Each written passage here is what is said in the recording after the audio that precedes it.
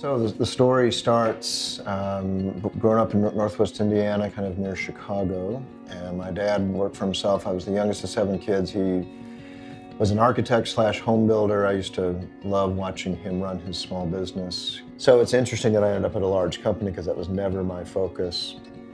Got a degree in economics and ended up interviewing with Caterpillar. Actually got to ride a machine my first day of my interview, so that must have stuck with me because I stayed for 25 years. From a leadership point of view, I was a young supervisor, about 29 years old, and I had a group of about 12 or so working for me. Caterpillar mentioned that they were going to start doing a uh, employee satisfaction survey.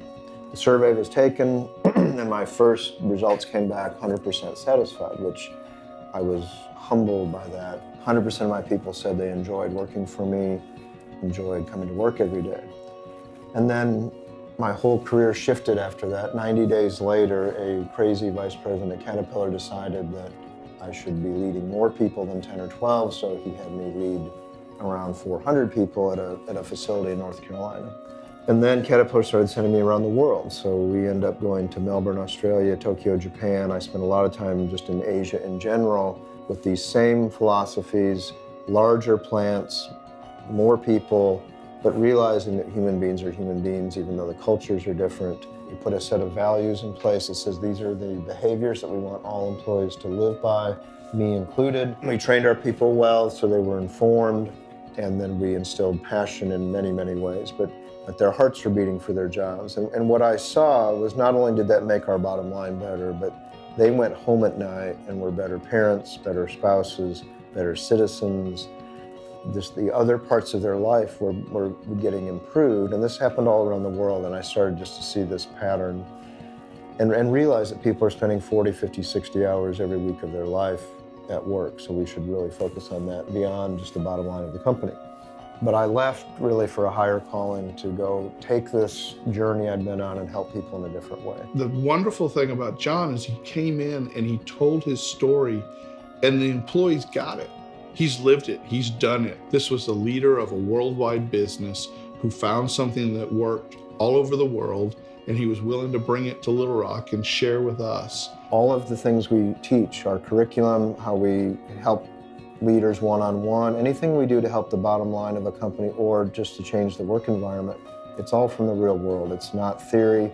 It's, I always say that the entire curriculum I wrote for our leadership training was really the diary of my life as a leader things I did well, things I didn't do well, and now we get to share that with people. Experts will tell you there's 70% of people are disengaged at work. That's on the high side. In many countries, it's worse than that. So again, spending 40, 50, 60 hours every week of their life. So it's not good for the bottom line of the company. It's not good for the economy of that country. And certainly it's not good for that individual or their families when they go home at night. And so what VIP2 has become is really a mission. It's not a company. I wouldn't say that. We've got a small group of people. Every one of our people are actual leaders. They, they, we don't have anyone that is just a trainer in front of the room. These are people that believe in our mission. Uh, our team is very, very diverse in, in age and race and backgrounds because we know that when you have different hearts and minds around the table, amazing things happen. So our team at VIP2 reflects that. I like the fact that he has assembled uh, a diverse group of people. And, and so that when he is speaking to, you know, for example, the 50 supervisors in my utility, you know, the range from age to race to gender, that he's bringing in speakers that that mirror our our our demographic. I probably attended well over 100 seminars and motivational events through my business career. And for the first time in my entire business career, I spent two days and I literally could not take my eyes off of Jon or the other presenters, nor could I quit thinking about the things that he was talking about, empowering the people that were actually doing the work, uh, creating an environment where people wanted to come to work. So in short, I think VIP2, again, it's a mission of dedicated, passionate people who have been in leadership positions that are worrying about all employees, that they enjoyed being at work, that they were informed, that they knew what they were doing, that they had passion for what they did, that their hearts were beating about their jobs and they weren't just there for a paycheck.